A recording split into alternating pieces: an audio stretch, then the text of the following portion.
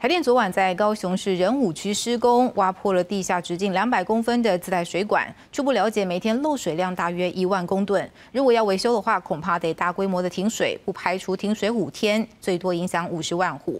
而自来水公司也表示，会朝影响民众最小的方式来评估后续的修复。而漏掉了水，后续也会向台电求偿。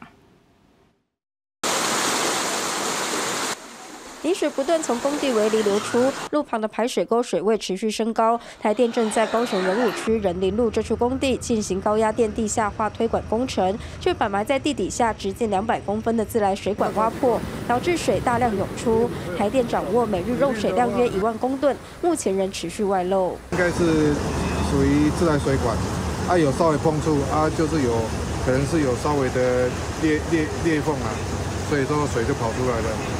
水管直径太大，若要维修，传出得停水五天，最高可能影响五十万户。区域可能涵盖南子大社、紫关、桥头、弥陀等地，也让临近店家相当忧心。我们怎么储水？我们有里面有上面有两个水厂，我们只能存两天而已啊！你如果到这三天，我们也是必一定要电修啊。他说找方法储水啊，五天呢？哎呀，五天太，我们民生用水都没办法储了，你叫我们做，我们要营业的要储水。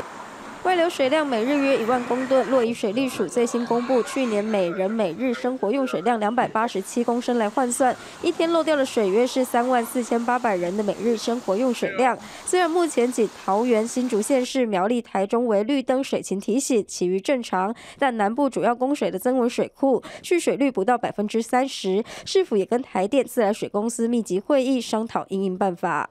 那整个影响范围要看今天的所有管线。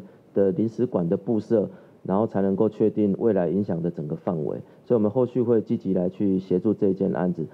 自来水公司回应，目前供水不受影响，会朝影响民众最小的方式来评估后续修复。争需停水会公告时间及范围，但停水天数跟范围还在讨论。至于这次挖破管线所外泄的水费，会向台电求偿。记者王婷、陈显坤高雄报道。